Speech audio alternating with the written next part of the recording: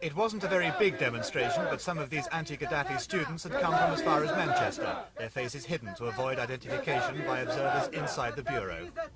Gaddafi is a terrorist! Down, down with Gaddafi! Down, down with Gaddafi! Down, down with Gaddafi! Down, down with Gaddafi! Carefully watched by the police, they left their coach and started parading in front of the bureau. The police, it was just another routine assignment, nothing to worry about, just another demo.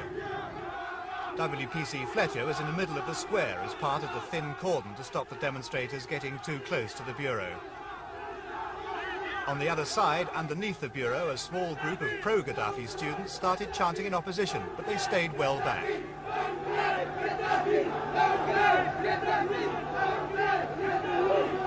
And then the shooting.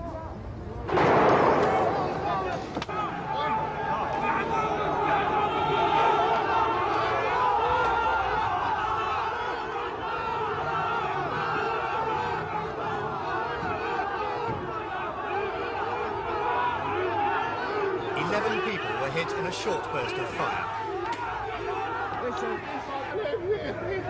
Oh no! Shot in the leg!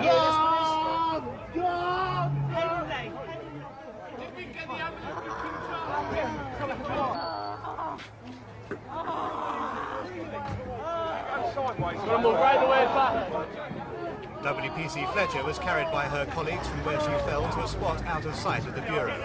Her fiancé, a police constable, had also been on duty in the square and was with her as she was being given first aid before the ambulances arrived.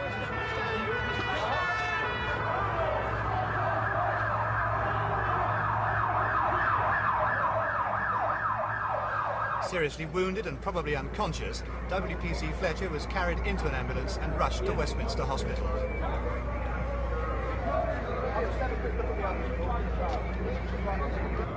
The other, less seriously wounded, were given immediate first aid on the pavement.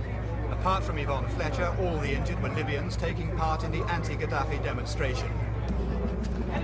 They too were taken quickly by ambulance.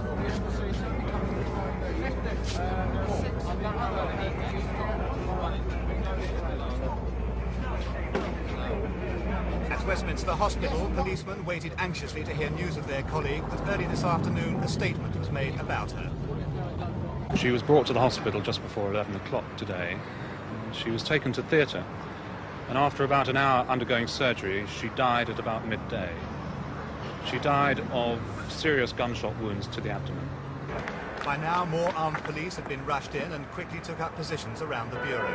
Overhead, the police helicopter checked movements on the ground and helped to coordinate the police operation. On the ground, police from the anti-terrorist squad, special branch, and the 11th branch prepared for the possibility of more shooting.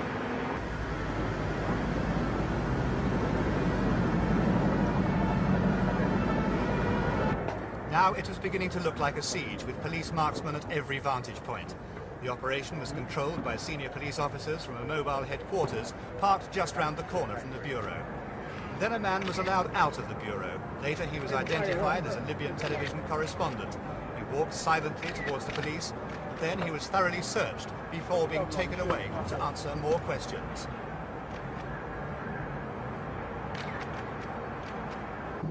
By now, the police had decided to evacuate the whole area and to get the thousands of office workers near the bureau out as quickly as possible. It was felt that if it came to more shooting, anyone within range of the building could be at risk. And for some, this meant an undignified and awkward departure over rooftops and down fire escapes. Police were on hand to see everyone over the obstacle course and down to safety. For others, it was an easier route, straight into the street and then behind the police cordon.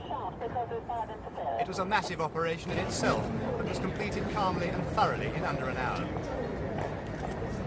With civilians out of the way, police marksmen could move into the deserted area and start taking up more permanent positions. From behind the cover of doorways, policemen aimed rifles at the bureau and waited. In the square itself, officers with pistols took advantage of trees to give cover, always making sure the building was in their sights. Rooftops too gave vantage points into the square. These men are experts at finding the right positions to give themselves maximum protection, whilst at the same time keeping continual surveillance. Men from the Special Air Service Regiment are now believed to be in London, but it's not known if they've been moved into the St James area yet. To complete the sealing off of the square, scaffolding was moved in to enable screens and tarpaulins to be erected. The police are now in telephone contact with the Bureau, but it's essential that nothing sudden happens to escalate the situation into more violence. To that end, the public were being kept out of the way and out of sight. Only vital personnel are being let inside the cordon.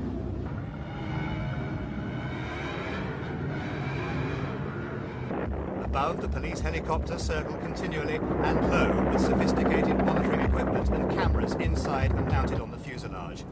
The police have now settled in for what could be a long wait while their senior officers and the politicians decide what steps to take next. Jeremy Hands, News at 10, St James's Square, London.